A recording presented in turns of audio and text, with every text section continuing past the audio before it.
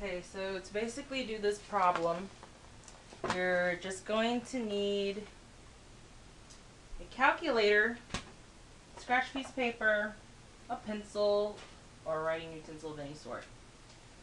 I'm just going to start off with just converting the gram strengths because all of our medications are in grams.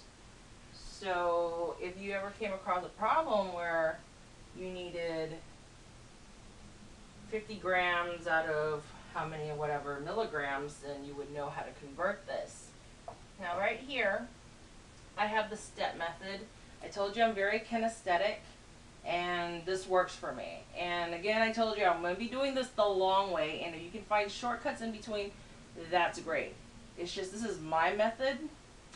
My husband seems to think that I'm the only person that comes up with this theme, but it has worked when I teached before, when I taught. So this is kilogram, this is gram, this is milligram, and this is microgram. And so basically, if you have converted them properly, they will all equal out the same. If you're going to be going upstairs, you're going to be dividing by 1,000. And if you go downstairs, you'll be multiplying by 1,000. So, for instance, let's just say you are asked how many micrograms are in 500 milligrams.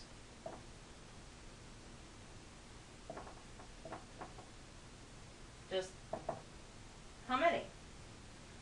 Well, we would start here at the milligram strength and then we would step down, which means we just have this 500 here, and then we multiply down 1 by 1,000. That would leave us with 500 times 1,000 equals 500,000. That would be your answer. They are the same comparable. Now, if someone had told you, well, how many grams are in 500 milligrams.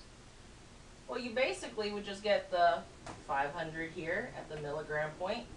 You're going to be going upstairs, which means you'll be dividing by 1,000. So you have 500 divided by 1,000. 500 divided by 1,000, if you use your calculator, is 0.5 grams. And this basically means that 0.5 grams is the same as 500,000 micrograms. So they're all the same across the board.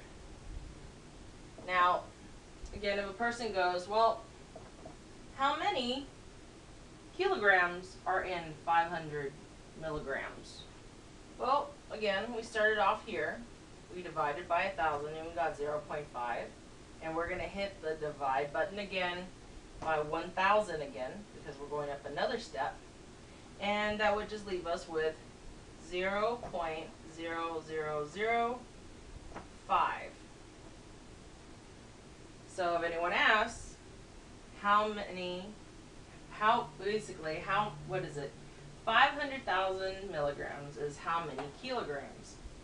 You would just basically say it's 0 0.0005 kilograms. How many kilograms are in 500 milligrams? 0 0.005. It's all the same across the board. You have to remember to properly calibrate them. I'd say if you know how to cross multiply and divide, then you can practically do any math problem whatsoever. And that's actually a really good thing. So, now I can rewind this if I'm going a bit too fast.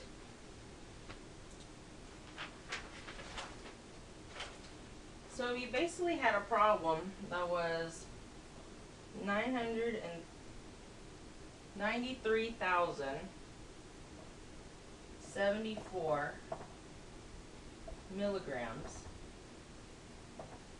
How many grams is it? That would basically be the question.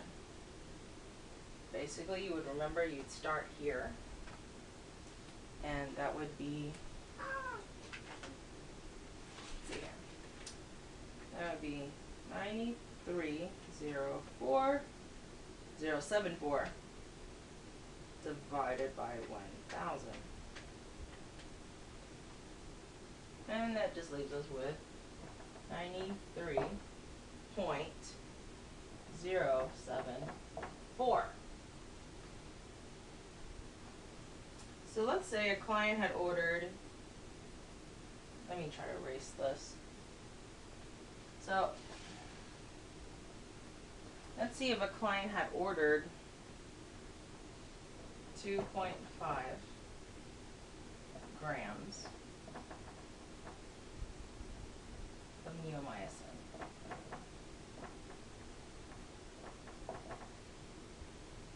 And all we actually have in the pharmacy is only five hundred milligram tablets. The question is basically how many tablets would you give the client because they're asking for 2.5 grams.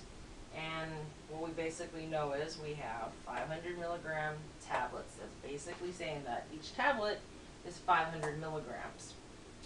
Well, we're going to line this up. This is the cross, multiply, and divide thing I'm telling you about. 2.5 grams, we're starting off here. We should basically convert that into milligrams so it can line up. It would be pointless for you to line up 500 milligrams to a gram because they're not the same. You have to do milligram to milligram, tablet to tablet, fluid to fluid. It has to be the same across the board to get the answer that you want. So the question is, how many tablets? So, you get that 2.5, and we're going to multiply it by 1,000.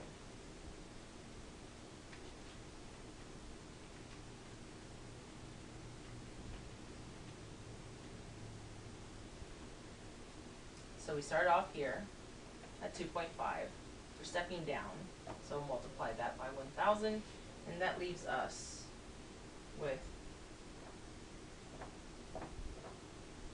2,500 milligrams. So this is the same as this. 2.5 grams is the same as 2,500 milligrams. Now, to get the answer, because we still haven't really answered the question, they want to know how many tablets are we actually going to give the person. So, I suggest you cross multiply the 2500 to one tablet and divide to 500. And that leaves you with just giving that patient five tablets. Just five tablets. That's all. But yes, that's the way I do math.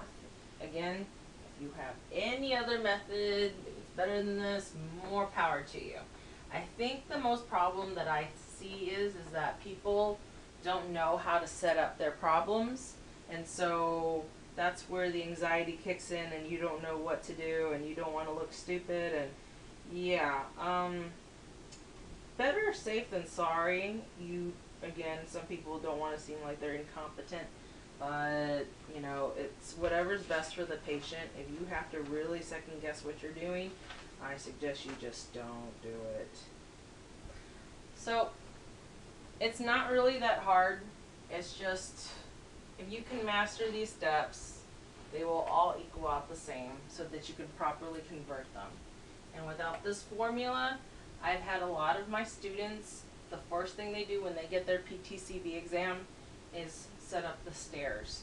I know it's really silly and it's like a, a fifth grade thing, but it works. I I would never change the way I do this. I have people that have been professionals in many years and they just never, you know, worked very well with math and due to me having to set up everything this way or just basically doing it in you know, fraction form, it actually helps. So if this method does not work for you, I'd say, you know, just stick to what you're used to because again, we all learn at different paces and I try my best to make people understand because you know, I am a teacher, so it's sort of like second nature to me to be that patient. So, if you have any questions or you have like a problem that you'd like me to see if I could, you know, you know, pretty much answer, I wouldn't mind so. It's something I like to do. So, I hope you enjoyed this whole little segment and we'll see what we'll do next. Probably flow rates, probably like conversion of um, fluids, milliliters. Um, yeah, that's pretty much it. If you can master this, and if you can cross multiply and divide, you could do anything. It doesn't even have to be about, you know, pharmacy. You know, some people have a very complicated time clock where they clock in and clock out at their own job. And they're like, okay, well, I clocked back in at, you know, let's say 145, okay? So basically, we know for sure because, you know, some timesheets does not take that 30 minutes. You have to do like 0.5, you know? So obviously, we already know that 0.5 is 30 minutes. And you came in at, let's say, mm, 11.45. You, you got the 11 part. So as long as you can convert that, you know, 45, then you know what that answer is when you, you know, set up your timesheet so that the accountant can properly, you know, pay you.